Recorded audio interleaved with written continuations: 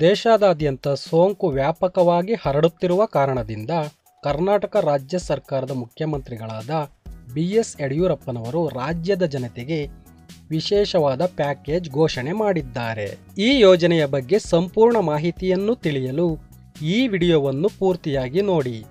ಈಗಲೇ ಈ ವಿಡಿಯೋವನ್ನು ಲೈಕ್ ಮಾಡಿ. ಬಡವರ ಬಂಧು ಯೋಜನೆಯಡಿ ಪಡೆದಿರುವ ಸಾಲ ಮನ್ನಾ.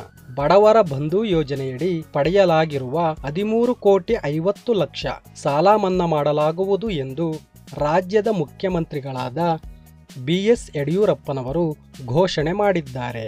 ಜೊತೆಗೆ ಕಟ್ಟಡ ಕಾರ್ಮಿಕರಿಗೂ ಸಹ ಯೋಜನೆಯನ್ನು ಜಾರಿಗೆ ತಂದಿದ್ದಾರೆ. ಎರಡು ಲಕ್ಷ ಐವತ್ತು ಸಾವಿರ ಕಟ್ಟಡ ಕಾರ್ಮಿಕರಿಗೆ ಪ್ರತಿ ತಿಂಗಳಿಗೆ ತಲಾ ಒಂದು ಸಾವಿರದ ಐನೂರು ರೂಪಾಯಿ ಸಹಾಯಧನವಾಗಿ ನೀಡಲಾಗುವುದೆಂದು ಸರ್ಕಾರ ನಿರ್ಧರಿಸಿದೆ. ಅದರ ಜೊತೆಗೆ ಬಿಪಿಎಲ್ ರೇಷನ್ ಕಾರ್ಡ್ ಮತ್ತು ಅಂತ್ಯೋದಯ ರೇಷನ್ ಕಾರ್ಡ್ ಹೊಂದಿರುವ ಫಲಾನುಭವಿಗಳಿಗೆ ಸೋಂಕಿನ ಕಾರಣಾಂತರದಿಂದ ನ್ಯಾಯಬೆಲೆ ಅಂಗಡಿಯಲ್ಲಿ ಎರಡು ತಿಂಗಳ ಆಹಾರ ಧಾನ್ಯವನ್ನು ಮುಂಚಿತವಾಗಿ ವಿತರಣೆ ಮಾಡಲು ರಾಜ್ಯದ ಮುಖ್ಯಮಂತ್ರಿಗಳಾದ ಬಿ ಎಸ್ ಯಡಿಯೂರಪ್ಪನವರು ತಿಳಿಸಿದ್ದಾರೆ. ಸರಿ ಸ್ನೇಹಿತರೆ, ರಾಜ್ಯದ ಮುಖ್ಯಮಂತ್ರಿಗಳಾದ ಬಿ ಎಸ್ ಯಡಿಯೂರಪ್ಪನವರು ತೆಗೆದುಕೊಂಡಿರುವ ಈ ನಿರ್ಧಾರದ ಬಗ್ಗೆ ನಿಮ್ಮ ಅಭಿಪ್ರಾಯಗಳನ್ನು ಕಾಮೆಂಟ್ ಮೂಲಕ ನಮಗೆ ತಿಳಿಸಿ. ಹೆಚ್ಚಿನ ಮಾಹಿತಿಗಾಗಿ ನಮ್ಮ ಚಾನಲ್ಗೆ ಸಬ್ಸ್ಕ್ರೈಬ್ ಆಗಿ.